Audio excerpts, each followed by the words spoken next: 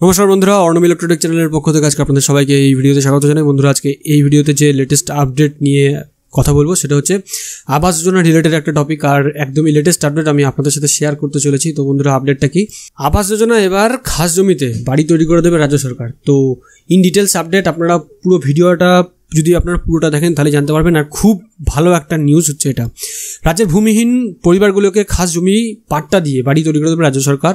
বাংলা আবাস যোজনা প্রকল্পে সেই বাড়ি তৈরি করে দেওয়া হবে। এক শতক জমির উপরে বাড়ি তৈরির পরিকল্পনা কিন্তু নেওয়া হয়েছে। প্রশাসন সূত্রে জানা যাচ্ছে, যারা দীর্ঘদিন ধরে সরকারি জমিতে বসবাস করছেন তাদের পাট্টা দেওয়া হবে। তবে পূর্ত রেল হাসপাতাল সহ গুরুত্বপূর্ণ প্রতিষ্ঠানের জায়গায় বসবাসকারীরা এই ধরনের সুবিধাগুলো পাবে না। জমি চিহ্নিত করে সিদ্ধান্ত নেবেন সরকারি আধিকারিকরা। বাংলা আবাস যোজনা প্রকল্পে জেলায় পাট্টা দেওয়ার প্রক্রিয়া শুরু হয়েছে। পূর্ব বর্ধমান জেলায় দু হাজার সাতশো বত্রিশ জনকে খাস জমিতে পাট্টা দিয়ে বাড়ি তৈরি করে দেওয়া হবে বলে জানানো হয়েছে। তার মধ্যে অলরেডি একচল্লিশ জনের জমি কিন্তু চিহ্নিত করে দেওয়া হয়েছে।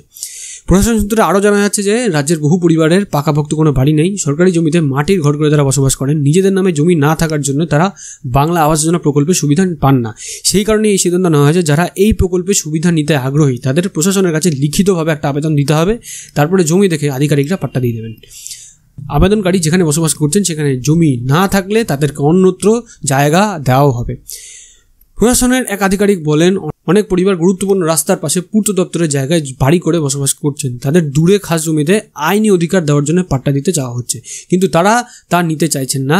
তারা রাস্তার পাশেই অস্থায়ী বাড়িতে থাকতে চাইছেন। খাস জমিতে বসবাস করছেন এমন আবেদনকারীকে এক লক্ষ কুড়ি হাজার টাকা দিয়ে বাড়ি তৈরি করে দেওয়া হবে। বাড়ি তৈরির জন্য এনআরজিএ প্রকল্পের নব্বই দিনের শ্রমিকের মজুরি দেওয়া হবে। তিন ধাপে সেই টাকা দেওয়া হবে। টাকা সরাসরি উপভোক্তাদের ব্যাঙ্ক অ্যাকাউন্টে চলে যাবে। তো ফ্রেন্ডস এই ভিডিও থেকে একদম গুরুত্বপূর্ণ আপডেট যেটা যা জানতে পারলেন, সেটা কি যাদের জমি নেই, তাদেরকে কিন্তু রাজ্য সরকার নিজে ইনিশিয়েটিভ নিয়ে তাদেরকে জমি দিয়ে কিন্তু সেখানে পাট্টা দিয়ে তাদেরকে বসবাস করার জন্য বাড়ি দৌড় করে দেবে। এছাড়াও খাস জমিতেও কিন্তু রাজ্য সরকার এখন থেকে বাড়ি ঘরদোর করে দেবে। তার কারণ তার কারণ রাজ্য সরকারের উদ্দেশ্য হচ্ছে যারা এখনও পর্যন্ত কাঁচা বাড়ি, মাটির বাড়িতে বসবাস করছেন, তাদেরকে একটা পাকাভুক্ত বাড়ি তৈরি করে দেওয়া। তো বন্ধুরা, আজকের এই লেটেস্ট আপডেট আপনাদের আজকে কেমন লাগল অবশ্যই কিন্তু সেটা কমেন্ট সেকশনে কমেন্ট করে জানাবেন। ভালো লাগলে লাইক করবেন ভিডিওটা অনেক বেশি করে শেয়ার করুন। এরকম ভিডিও আপডেট তৈরি পাওয়ার জন্য চ্যানেলটাকে যারা এখনও সাবস্ক্রাইব করেননি, অবশ্যই চ্যানেলটাকে সাবস্ক্রাইব করবেন। আর অলরেডি যারা সাবস্ক্রাইব করেছেন, তাদেরকে অসংখ্য ধন্যবাদ। তো বন্ধুরা, ভিডিওটার সাথে শেষ পর্যন্ত থাকার জন্য সবাইকে ধন্যবাদ জানাই। ভালো থাকবেন, সুস্থ থাকবেন। বাই